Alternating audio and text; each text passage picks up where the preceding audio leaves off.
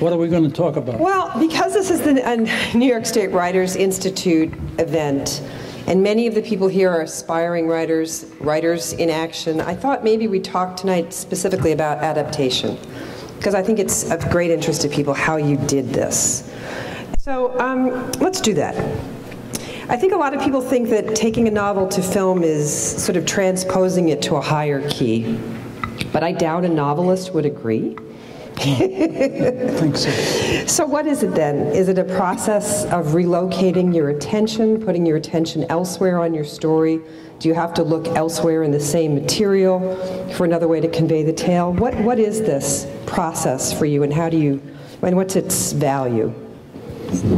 Well, I think that uh, the basic element of film is dialogue and action.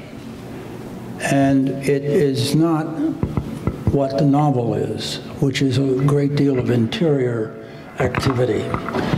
And especially Ironweed. Ironweed has an awful lot of the interior life of Francis and of Helen, and also of Katrina. And uh, it's a uh, it's very difficult to put on screen. And if you start up interior monologues or, or voiceovers, I mean, they're all used. Every element of the novel gets translated in some way or other, in small ways, into movies of all kinds. But by and large, the, it's not it's not done. The basic film is is keep the action going and uh, and uh, keep the suspense going and get your story in the first paragraph, like good journalism. Mm. Uh, every scene, you say that to your and. Um, and that was what I did. I mean, that, that was what uh, uh, Hector Babenco and I, we, we cut the book together and uh, brought it down to the main plot lines. And, and I, you know, it was very, very difficult to cut so much of the, the interior life. Sure. What was what the book stands on in so many ways. But that's what, that's what it's all about. I mean, in a novel, you can do anything with anybody. But in the, in the movies, you, you just have to adhere to what the form demands. It is motion picture. And that's what you keep keep it moving. So as you were doing the adaptation and turning this into a, a, film with Babenco, were you looking? Were you literally, you personally, not him, just about you, what your, I would like to know about your process. Were you referring to the novel or were you working off of what you knew of the novel in your mind? Were you literally sitting down with the novel and saying, this goes in and this doesn't go in? Or were you more in a, a, a creative state of the way you were when you were first creating the book? No, I don't think I was in a creative state. I mean, um, that's not like, it's not the same as creating it. It was, the, it was, it was reorganizing it. Mm -hmm. And, um, um, and um, finding what you know, what was basically cinematic. And Hector had a lot lot to suggest on this. I mean, uh, we we sat and talked for a couple of weeks, I think, and uh, every day I would go and work on it, and then we'd read it the next day, and and move forward. And um, um, and then he went away. Uh, and I went to Europe for something or other, and um, um, and then we came back together for about another week. And then we, we put the, a final version in, and that's, that's uh, the one that flew. And we, he, he went to LA with it and gave it to Jack Nicholson. And Jack had already read the book, and he read the novel, he read the script very quickly and said yes. Mm. Good. So as, how do you make these selections, though, as you're looking at your own work and, you're, and you know perfectly well that if you put everything in, that we're going to be in the theater as long as it takes to, to read the book. And you just have to literally take the, it's not the best scenes because books are cumulative experiences. And this plus this plus this plus this is what the writer wants the reader to understand to add up to the vision of the universe the writer has. So, how do you go in looking at your own work and make those kinds of selections for a shorter, more distilled version of the story? Well, you know, it, it's um, it's painful. You know, the, Yeah. this idea of cutting, uh, even especially when you're cutting from the, even when, when you finally get it on out of the novel onto the page in the script, you're going to have to cut it again. I mean, we had a, a, a script that was too long, and so it was constantly cutting. The principle of I, I I worked on the Cotton Club with Francis Coppola, and he and I would do the same thing what Hector and I did, and only with Francis it was cra- much crazier, and um, uh, we wound up writing about 40 scripts for that movie. it was an insane project, but would- I, I learned a lot, and I would write in the daytime, and then, I mean, we'd talk and figure out the scenes, and then I would write it, and um, and then give it to him, and he would, I'd say five pages, and then he'd cut it down to three and a half, and I would put the three and a half together, and maybe. Uh, and give it back to him, and then he'd cut it down to two and a half. And uh, that's and the principle I worked on there was like what you wrote yesterday, cut in half today. And the, the producers and the, the, the directors are always going to want you to cut these uh, wonderful scenes. Uh, there's um, your favorite scene, uh, and then you come in and they say, "We're going to cut the we're going to cut the um, the gilded cage scene, or we're going to cut the Katrina scene." Do we really need the Katrina scene? That was one of the one of the producers asked me that, and I said, "Are you kidding?" And, and uh, I, I I put up a, a, a serious blockade against that. but I remember, uh, you know, when, when you do this, uh, you're, you, you, you're the writer after all. And the writer has no standing in Hollywood. You're, you're, you're at the bottom of the world, at the bottom of the, the list. I had more say in, in this than a lot of writers ever have in what went into this movie. But at the same time, when it finally came down uh, to the, the final cutting, um, the, it was up to the producer who was the final cut. And Hector, I don't, I'm not sure, Hector may have had final cut. Uh, but Hector did have the, the final moral suasion that changed everything. And he, Jack Nicholson was, was a, a great believer in cutting, in cutting, in cutting. And Hector went to Brazil at one point, and, uh, after the film was shot, and they were in Hollywood.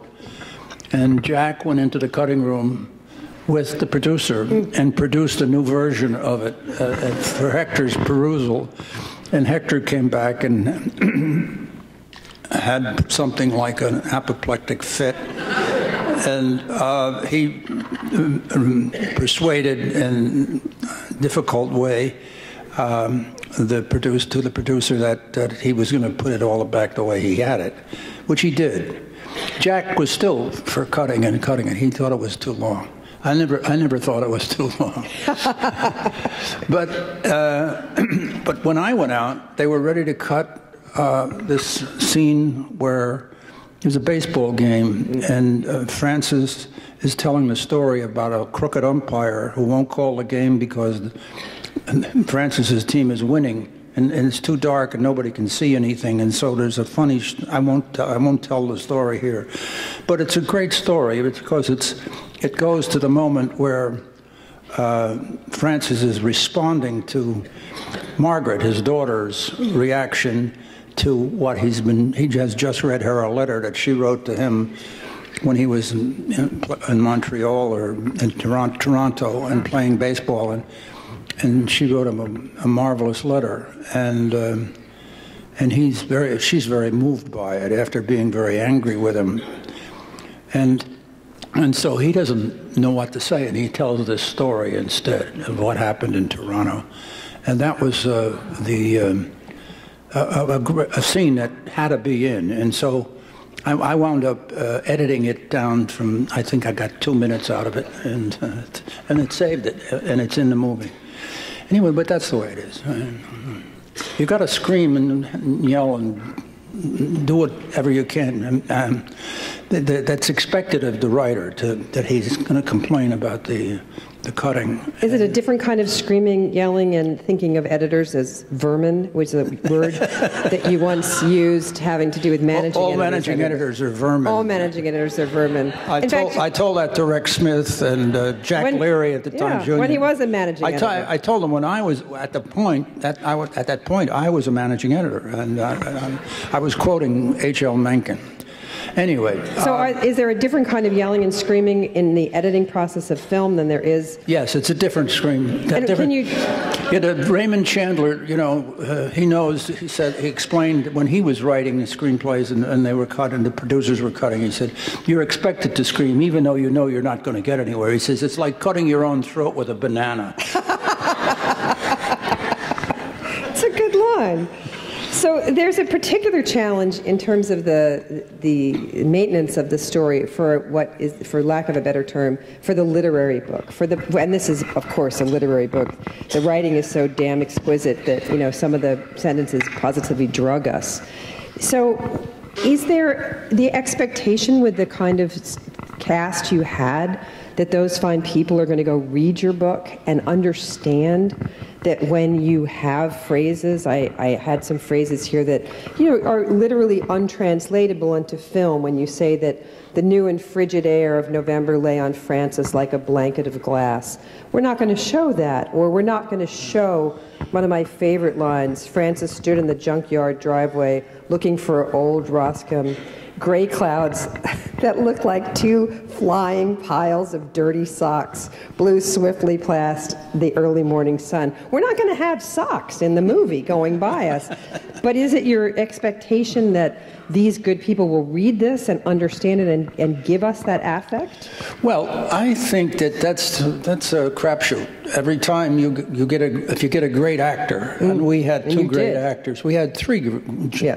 Tom Waits was wonderful in this as Rudy, but uh, with, with um, Meryl, Meryl wanted uh, in the monologue where she's in the church, I think. Around that time, it's the beginning of her memoir about her, her whole life, where she's talking to herself about uh, death and and leaving Francis, and, and it's it's a very moving thing that I I just exploded with one day, and it just was like I don't even know where it came from, but it was. Uh, and anyway, and she loved so much of it, and of course, all the actors in the world want to, want to have longer parts, you Yeah. know, and um, they uh, and so, but but Meryl was not doing that. She just wanted th- these particular phrases to go back in that had been in the book, and she read the book very carefully, and then she came and she said she, we sat around for one afternoon and um, went over two or three scenes like that, and. And uh, I said, well, okay, I'll, I'll try and keep them short, and I'll, I'll, I'll try to get it in. But then I was there the very first day of the shoot, first shoot, was uh, in the, the uh, studio where out in Central Avenue where they were, they had the set for uh, Jack and Clara's apartment, and um, Meryl was sitting there, and she was just spouting off something about Francis and, and her own condition, and, and she said everything so clearly and so perfectly, understandably, and she, you know, so I, I, I said to Benko, I, you can give her a lot more. I mean, she and she she spat it out so fast, and it was so crystalline. I, it was a it was a remarkable moment for me to look at an actress and see just how what a great actress and a great speaker Meryl was, and that was so. Therefore, I said, I you know I don't mind giving her more lines. It's it's it's easy. I mean, you're, you're you're not worrying about the extent of the scene because she's going to hurry them along anyway, and and she can we'll cut something else. the, uh, the, on, the ongoing cycle of cutting. So I understand you're turning this now into a play. Yeah. So can we talk about the difference? Can we talk about taking one beautiful idea, writing the hell out of it the first time, writing the hell out of it the second time, and now taking it on again in an entirely different format? Well, right, right now, I'm in the process of. Uh, uh, I've written it twice. I'm uh, writing with a collaborator, uh, a, a, woman, a director, and an actress who has specialized in um, translating um, fictional work into theater. Her name is Jody Markel. And um, Jody and I have been collaborating on this, and um, what we've done is what we could not do in the movie, which was use these these uh, interior monologues of Francis and Helen and Katrina, uh, because the, in the theater, you know, there's a, from Shakespeare, the, the tradition, and, and, the Greeks, the the long interior monologue, uh, O'Neill and Tennessee Williams where, where everybody speaks their mind to the audience or to themselves or to an inert object or something. And, uh, and you can get away with it. I mean, it's, uh, it's perfectly legitimate. It's part of the theatrical method. And uh, actually, a friend of mine in, uh, in the, um, the Writers Institute is helping me get in a, a line which, which uh, had to be cut for one too complicated to talk about, but I'm, i want this line to go back. And Langdon Brown, who's a very excellent mind in the theater, has given me uh, a little uh, nudge in certain directions on how to get this line in. It you just can't get it in uh, by talking to yourself, or uh, it's a, it's it's just a uh, it's tough.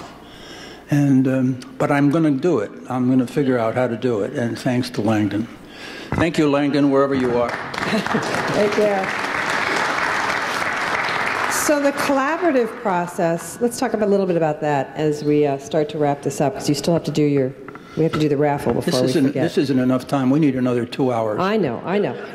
And, and, I, and I would love that. And I hope everybody else would too. But there's this really good movie coming up on the screen. And so we got to kind of defer. Um, but I love the idea that you reached out to Langdon to talk to him about how to get the line in. What was the co- original conversation that you had with him? Did you just say, "Can I pitch you the idea for this play? I'm trying to make the, the conversion to." No, no. I, I, mean, I talk to him all the time about mm-hmm. the theater and, and whatever I'm writing, and. Uh, I was in his class, and uh, I was explaining to the class this problem I had, and uh, in trying to translate the play into the play this uh, this line, which we had to cut the scene. The scene, the line was in the scene, and it it, it sort of worked, but the, the scene didn't work. The scene there was something in, inherently cockeyed about the scene, so we threw the scene out. And um, this is just the first draft of the play that we're we're dealing with here and um, and so we're seeing trying trying to find out what's going on. And then uh, I I sort of presented it as a problem to the kids to try and present what you know if they had any ideas, let me know, write me a letter or something. and, and Langdon did. So. Uh, um, but that's how it happened. That's how it got out in the open. I see. But I'm just trying to tell you that um, you know there's there's certain things that you can do in, in, in with in a novel, you can do anything. Mm. And it's, uh, it's perfectly legitimate uh, as long as you get it with the right language. But uh, with, the, uh, with the play, it has its own limitations, and so does the, and the movies have a, far more. But you do have, I was thinking of also uh, what you build into the, uh, a, a, great actor's face. Mm. the faces of um, uh, of the actors express thousands of words in, in, a, in, a, in a second or two seconds, and uh, that you don't have to write. Yes. That's true. You can just hope for the best. I was re- thinking that. I was looking back through. This is my original copy, and this is still when I used to make underlinings in books, and and it kind of it's kind of charming because I remember reading this book and where I was in my life and how much it meant to me. And the, some of them are in red ink, they meant so much to me. But there's a line here about, at the end, um, about Francis. By now he was sure only that he lived in a world where events decided themselves, and that all a man could do was to stay one jump into their mystery. And Jack Nicholson portrayed that. That factored into his face, as you just said, that idea. And that's because he was just so damn good, but it's really because you just wrote such a Yeah, not every act, not every actor can do it. It's uh, Right. it's um, some actors have one expression, and you know, and uh, Yes, and, and some not even that with Botox these days, right? Yeah, it's too bad. So this all began, the, your cycle began with a book that you didn't publish, um, Angels and, uh, The Angels and the Sparrows, right? Right. And then we had Legs, and we had Billy Phelan, and we had Ironweed, and we had the movie, and now a play. Are we going to see these people again? Some of these people, somebody from you mean in a new novel or something like and- that? Or, Or? or walking down the street, but yeah, in a new novel. Well, I, uh, you know, my last novel, I had Fidel Castro, I know. uh, and I, I'm going to write another book about him, short book. Um, but Francis, I don't know. I brought Francis back about. I brought him back in uh, the Flaming Corsage. I brought him back. He started in Billy Phelan. He started in The Angels and the Sparrows, which was never published. It turned into something else many years later. It turned it into um, Very Old Bones. And he was uh, very um, present in that. And he was also um, a, um, you know, in Billy, he was such a, uh, you know, I don't know. I mean, I, I'm not sure.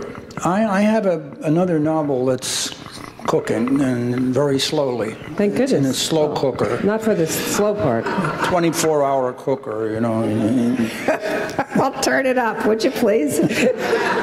okay, last question. If you could choose tonight to go home and adapt any of your books for the film, somebody said to you, here's a $2 million, here you go. Which one would you do? I've already done it. Uh, I have a script for Billy Phelan ready to go. Great. Thank you. Where's our um, raffle bucket? Let's do that. I'd also like to do Roscoe on television. I want to do a series on And I Roscoe. think you should. Thank you.